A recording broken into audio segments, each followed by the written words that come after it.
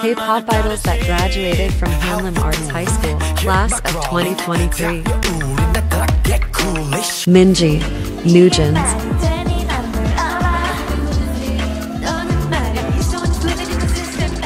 Saleun and Bai Mix,